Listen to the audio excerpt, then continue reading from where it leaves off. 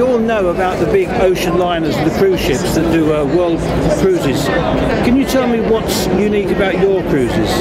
Well, I think not only the ocean liners, we're also different from river cruises, where the numbers carried, of course, are much more than our relatively small numbers, where we're talking about a maximum of 22. The majority are really between sort of 10 and 12 passengers. These are the barges we're talking about, and uh, so it's a very special, unique type of holiday. We're the only company that has such a product. Uh, we have about 20 vessels from which uh, choice can be made. So is your company UK based? It's UK based, a British company, although we market uh, in the United States, Australia, New Zealand as well. And how many barges do you have? Just about 20. Do families like charter these these? Uh, They can do. The barges can be chartered, whatever the uh, size of them. Uh, they could be chartered by a family. They could be chartered by a group of friends. They could be an incentive group business. It's very possible because it's yours and an, an exclusive small group traveling isolated as well, so that you're not interrupted by anybody else. Okay. So when they, when they go on these cruises, is there a set uh, plan, a set program that they Yes. have to adhere to? There is the itinerary is laid down for each barge, and it works that you travel A to B one week, and B back to A the following week. But you would only go in one direction, otherwise you'd see exactly the same repeated. So there is a choice, but that's the only choice. But, but, but, um, so it's a basically a six nights holiday. Each uh, trip leaves on a Sunday afternoon and concludes on the following Saturday morning. And that formula is the same right across the fleet, whichever barge you go on, whatever the itinerary. They are very comfortable. All cabins are en suite, facilities and so on. Uh, you have a large lounge dining room where the meals are taken as a group, uh, and then there's plenty of uh, place to, to relax as well. Some of the barges have uh, spa pools as well, quite relatively small, of course, but nevertheless it's a nice facility, and it's, out on the open open deck. So tell me, if, if a family doesn't charter the whole ship, do, are they on there with other families? Other- Well, the thing is about families is that we have a, a policy about the, the age of children, uh, families. Um, basically, if families are booking independently, not a charter, we only accept children from the age of 14 upwards. If it's a charter, the responsibility for the charter is taken by uh, the head of the household or whatever it is, and the responsibility then passes back to the, the head of family, shall I say. Um, and therefore, the age of the child is decided by the charterer. All right, and there's no limit up or down, as it were and so they, you can take children.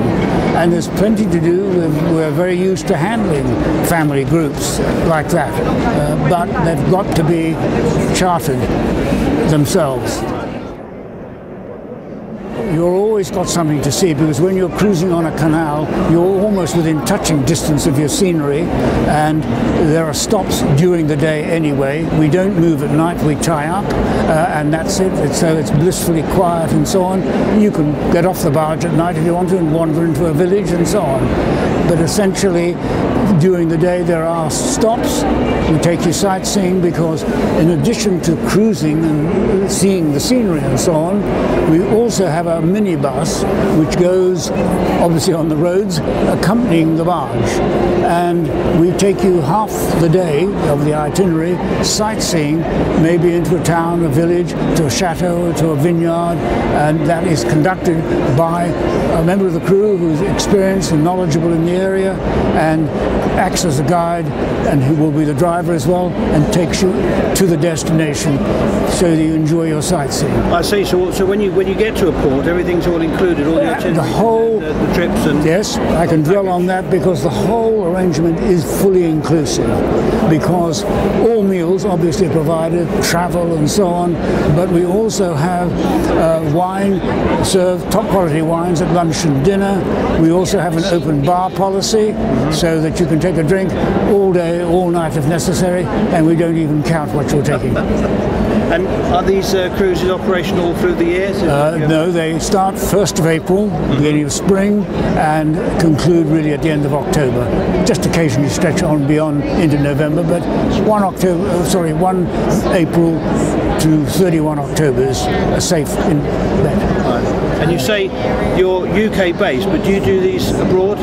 Well, France. Yes. Uh, yes, we're on the canals of France, and that's the majority of the program, ranging from northern France, shall I say, right down to the Mediterranean. Uh, always on canals, of course. and then we also have one vessel based in Italy, uh, in Venice, and we cruise a canal close to the River Po. And then we have three uh, barges which are operating, shall I say, in the British Isles. One is on Scotland, on the Caledonian Canal and Loch Ness. One is on the River Shannon in Ireland, and one on the River Thames. So if I wanted to charter one of these barges, say to, to go down the canals in France, Yes. how would you go about it? Is it like how would I get to France? Is that my own? Basically, the actual pricing for us is cruise only. Right. Uh, and leaving you to decide you're going to go by train. You might want to combine it with a driving holiday and so on. If it's train, we will indicate and discuss the trains into to Paris and then what station you would get to in Paris to go onward. Then once, and then we give advice as to the timing of the train. We collect you from the local station and take you to the barge, and we bring you back. If you have your car, we will guide you uh, in where it can be safely parked for the duration of the cruise. We will collect you from the car park. We will take you to the barge and take you back at the end.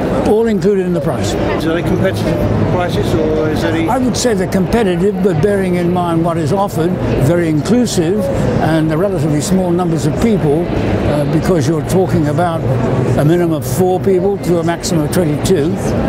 The majority, I would say the average is around 10 or 12, but it, it's a good price for what you're getting. That's all and I would do, say. and how do people start to plan these sort of holidays? Do you have a website or a, They can do that. Obviously, they can ask us for a brochure, certainly website, but basically speaking, they may need information. They can talk to us in the office. And we're based uh, in the south of England near Windsor.